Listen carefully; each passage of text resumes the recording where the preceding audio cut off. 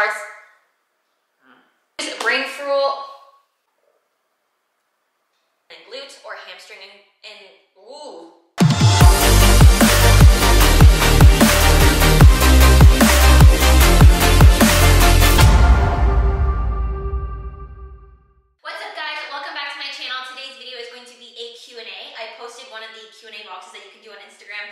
Couple days ago, so I'll be answering all of those questions in addition to pulling from a couple other ones that I've done in the past, ones that I think that are really important to go over and I think that you guys would enjoy. So hopefully you guys like this video. If you do, make sure you like, subscribe, and comment, and let's get started. Alright, so for our first question we have, I'm a new follower, love your content by the way, how long have you been doing splits, flips, etc. So I've been doing this stuff for like literally as long as I can remember. I started as a gymnast when I think I was like four years old and I've been acrobatic ever since. I use the word acrobatic because athletic, I'm not the most athletic person you've probably ever seen. Like I'm not very good at catching, throwing, or running and doing both of those things. So I definitely am more acrobatic. In terms of the splits and flips specifically, I would say I've probably been always able to do the splits. And then in terms of flips, I think I learned my first flip maybe when I was, I would say eight. Um, I don't know for sure. I'd have to ask my mom that. Next, we have what do you love most about calisthenics? Honestly, I love calisthenics because of the community. I know I've said this so many times on my Instagram, but the calisthenics community is such a great community in terms of like everybody wanting to help you learn, being super welcoming, and then also just the fact that everyone's there to truthfully make themselves better. You don't have too much of a competitive environment when you come to calisthenics. Everyone, again, like I said, is trying to help each other out. If you ever go to a meetup or to watch a competition, the vibes there are so crazy everyone is just so positive. Like I can't even put into words how amazing it is, but that is the main reason why I love calisthenics. Obviously, second would be just because I love all the movements as well.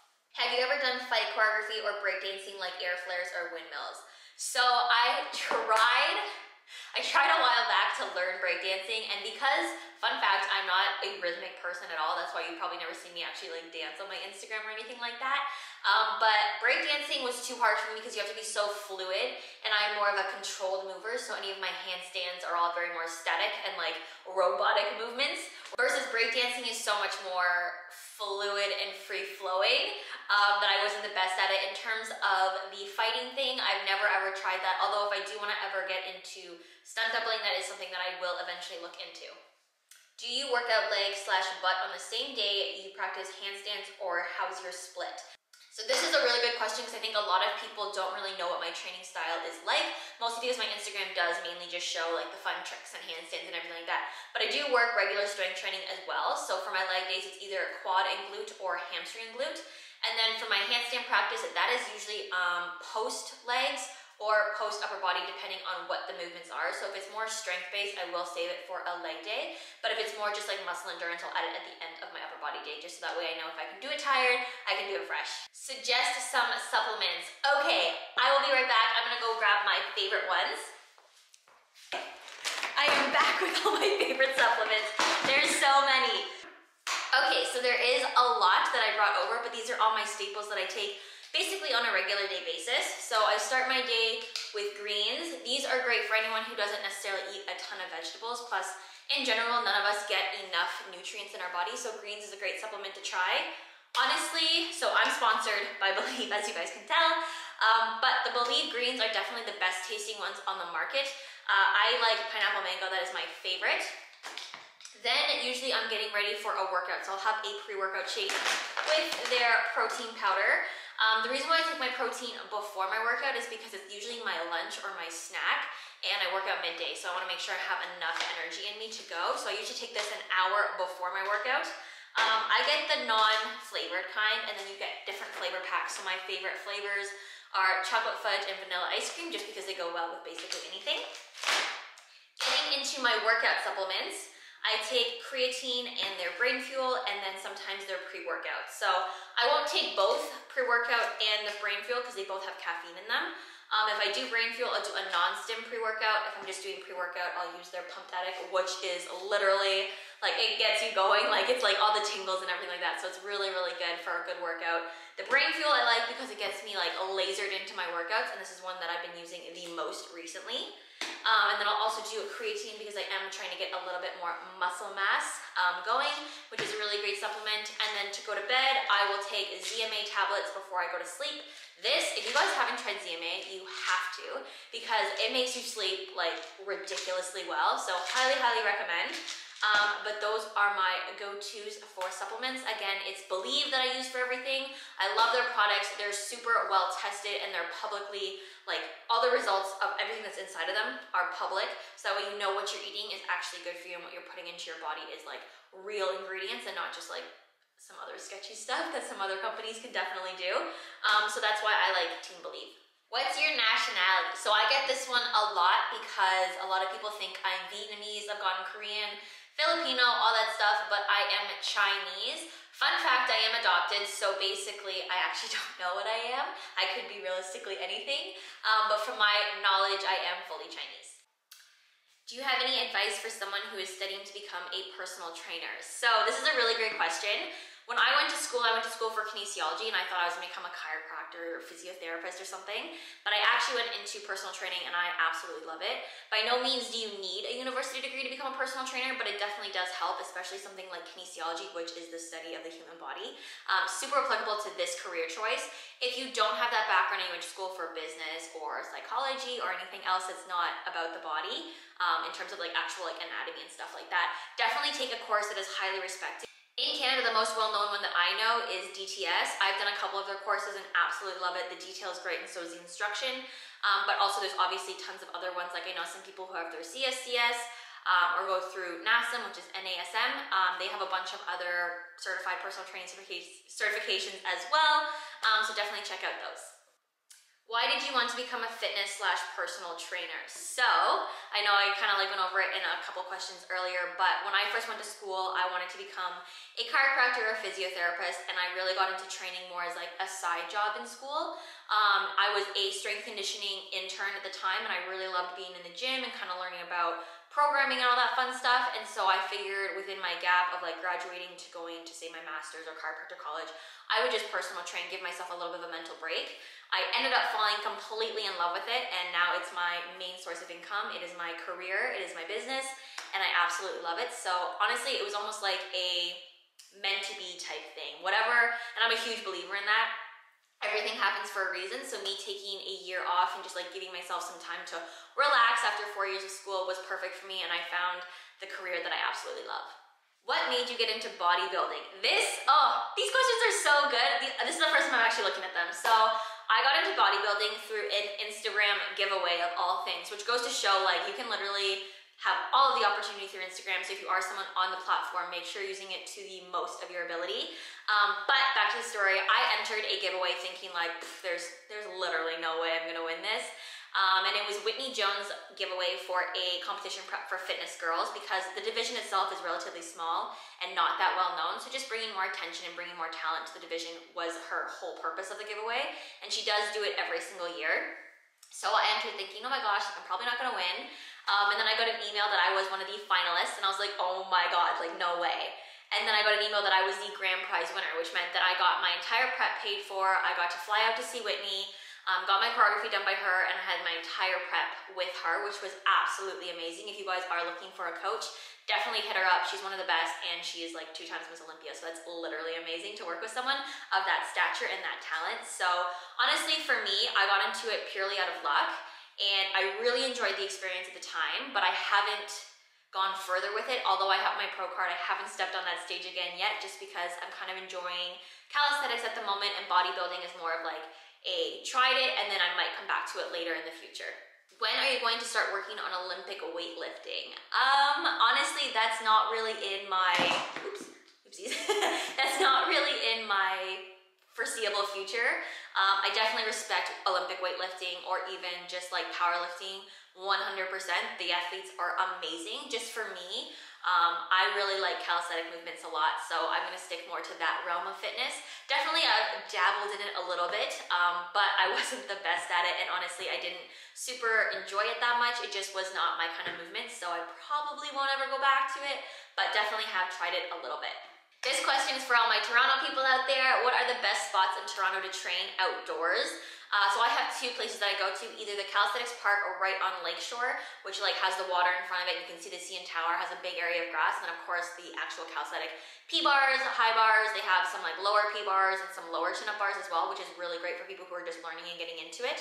And then my all-time favorite place to train is Canoe Landing. I am there all the time in the summer, at least I was last year, um, and I plan on going back this coming summer just because it has a giant turf field, has some stairs, a great view of the CN Tower again, and just like honestly a lot of other fitness um, enthusiasts or coaches in the Toronto area go there as well. So it's a great networking spot too. So definitely check out those two areas. I'll be there in the summer. So if you're ever there, let me know.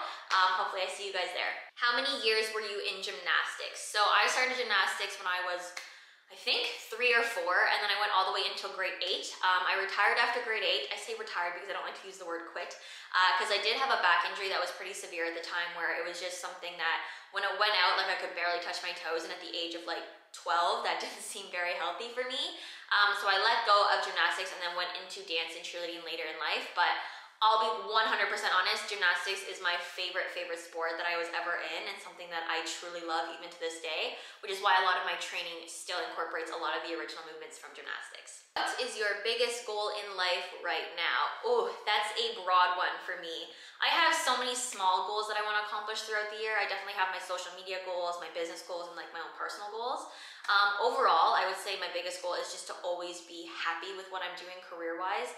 Um, if it doesn't bring me a lot of joy and it doesn't seem like a passion to me, I don't necessarily like to pursue it just because sounds cheesy, but like you only live once, and if you're gonna spend your day dreading going to work or dreading doing something, like it seems like a waste of potential and time. So for me, I honestly love everything that I do every single day. Obviously, it's hard work, but it's all so worth it to see the results of your clients, to see results of yourself, to network with different people is literally amazing. So my dream is just to continue what I'm doing and keep elevating it to the next level. So being able to travel internationally and do workshops once that's allowed after COVID, um, being able to just take my Instagram to the next level and try to do more partnerships, um, try to do more fun challenges, meet people that I've like pretty much idolized through my entire fitness career as well would be really cool. Um, and then that's it. For me, it's just all about having fun. So as long as I'm doing that, I'm really, really happy. How would you start again if you had to take a long break and had lost almost all of your strength? That is a terrifying thought. That would be so scary. Um, but obviously accidents can happen or injuries can happen where you lose a lot of strength. So fingers crossed, knock on wood, that doesn't happen to me. But if it were to happen, I definitely would reach out to some of my really close friends who I know are trainers and just start with them. Like if I'm someone who's starting completely from scratch after losing everything and my strength has gone significantly down, I'm not new to this. I know that seeking professional help is definitely the best. And although I know how to coach myself and how to coach others, sometimes when you come back from something like that, you do need that external motivation and a little bit more. So I definitely would probably get myself a coach just to bring me back to about intermediate level and then take it from there. Um, but hopefully that doesn't happen to me because that would be really awful. Have you ever considered being vegetarian or vegan? I've considered being a pescatarian, which is someone who only eats fish and eggs. Um, I've never considered vegetarian or vegan because I'll be honest, and I'm sorry if this upsets people, but I literally love eating protein so much. Um, steak is one of my favorite things to eat, and salmon and other white fish. I honestly love just eating my protein. Obviously, protein powder is a great supplement as well as you can get protein from other sources 100%. It's just I don't particularly enjoy those sources as much as just having like, I'm sorry again, but having like a really good burger. Um, I will probably never be able to do or become a vegan or become a vegetarian just because I just love food so much and I never like to limit myself too, too much. Um, maybe one day I will try like a 30 day challenge uh, just to see if I could do it, but I don't think I'd ever make it like a permanent lifestyle for me. Where do you see yourself in five years? Okay, so in five years, that would bring us to what, 2026? So hopefully in five years, I would love, absolutely love, to have my own gym. Obviously, I have my home gym, which I'm in right now, which is just a stepping stone towards my ultimate goal of having my own gym with my own space, making it kind of a hybrid of the strength training and the calisthenics, something that I'd really love to do. And then honestly, being able to, like I said, I think earlier in this Q&A, to travel and do international workshops and meet some of my clients that are all around the world would be literally amazing for me. In terms of personal goals in five years, um, I will be 30, which is literally crazy to me. I will literally feel like an old person by then. Um, hopefully I will have a dog because I really want to have a dog. And then in terms of more personal stuff like a boyfriend or husband or family, that is completely up in the air. I don't really worry about that stuff too, too much. I don't fret about it. I just kind of live my life and I think everything happens for a reason and everything happens at the right time. The longest it's taken to film a skill combination or challenge. Honestly, there was one in the summer that took me three days to get a version that I liked and I went back and I looked and I had gotten a version that I liked on the very first day. So I think that's a really good example of how much of a perfectionist I can be sometimes and how bad it can be, but also kind of good because it made me work on the skill for two other days and really condition it, which was really good. It was just sometimes we need to be a little bit less picky with our expectations, but definitely the longest time was spending probably an hour each day, so three hours in total, uh, to get that skill, which was a P-bar combination of me doing a handstand push-up half turn, handstand push-up another half turn. Uh, way more difficult than I anticipated, but I eventually got it, which was really, really good. What are your favorite socks? So if you guys follow me on Instagram, you will know I'm always in white-ish Nike socks. They are my absolute favorite. I honestly own 87 pairs of white socks, which is literally a little bit of overkill, but because I get them dirty so fast, it is definitely a necessity. Um, and I definitely do see myself buying more white socks. So hopefully at Nike, uh, sees this and can maybe send me a couple pairs, that would be sick. How to get over the fear slash embarrassment when filming in public. Okay, so this one, not gonna lie, this one takes some time because even now, sometimes if I go outside and like it's an area that I don't know anyone, I'm by myself and I'll film, I'll get a little bit nervous at first, but then in my head, this is what I go over in my head. Will I ever see these people again? Probably not. Will they ever see me again? Probably not.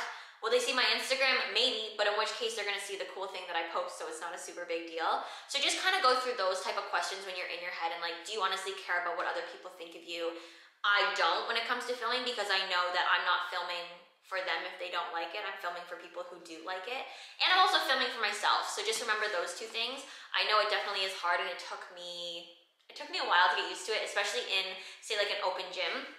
You kind of feel a little nervous, you want to get in people's way, you don't want to draw attention, you don't want people walking through your video, all that stuff. Um, but it does take a little bit of time. I would say just make sure that you feel confident in what you're doing. And remember at the end of the day that you're doing it for yourself and for people who enjoy your content. Marry, kill, bread, rice, and noodles. this question is pretty funny. I would probably have to marry bread, love bread.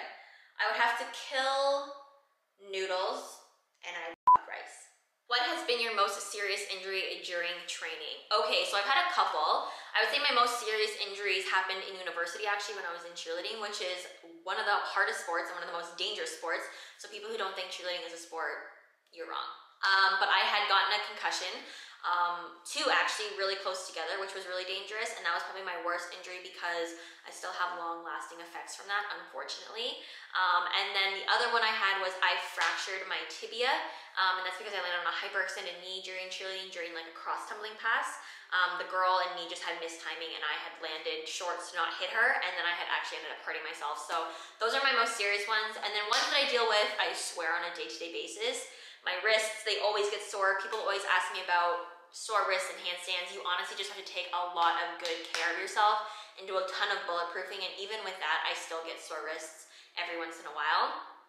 Um, and then other than that, I pretty much have no other injuries that I really have ongoing. Um, I rolled my ankle earlier this year, but that was literally doing something stupid, so we won't talk that. But that is all better now and healed, so I'm in a good spot at the moment. How old are you? I am 25. That is insane. Whenever I say that, I'm always like, there's no way. Sometimes I say my age and I'm like, oh, I'm 19, but I'm literally not. So I am 25 years old. I am a 1996, um, and my birthday is January 14th. How should I train to learn pistol squats? Any advice? Okay, so this this doesn't go necessarily towards just pistol squats. This is towards all movements, whether it's a handstand, press to handstand, pistol squat, lever, whatever it is. You always want to break down the movement as much as you can. So if it's the bottom half, top half, the full movement, break it down. A lot of people just try to go right into a pistol squat, right into a press to handstand, but you don't have the fundamentals down. Break it down to smaller pieces that you can achieve and then you're in a much better place for success. So for a pistol squat, really roughly I'll go over it. You wanna make sure one, you have the ankle mobility, hip mobility, and the single leg strength. So maybe work on those individual parts and then try to go for say like the bottom half control the pistol squat, like so say the negative, or the single leg strength to come up from your pistol squat. So single leg extensions or working on your lunges. Um, and then lastly, for the entire movement or balance, maybe work on a couple like balance squats on the Bosu ball um, or on a foam pad, anything like that. So break down the movements as much as you can and find movements that imitate the end movement So like a good one would be doing a step down, which is essentially like almost a negative pistol squat. Um, and just doing it from an elevated height and slowly building yourself way higher. Uh, so that way you do have that deficit, but don't just try to be like, hmm, pistol squat. Let me go right into it because it's gonna be a lot longer of a journey and you're at a higher risk for injury. So that is it for today's video. I hope you guys liked it. I answered roughly around, I would say at least 15 to 20 questions. Um, if you guys do like this kind of video, I will do it again and make sure if you have any more questions, you can always drop it below and I will answer as fast as I can. Um, if you guys like this video, make sure you like, subscribe, and comment, and I will see you guys next time.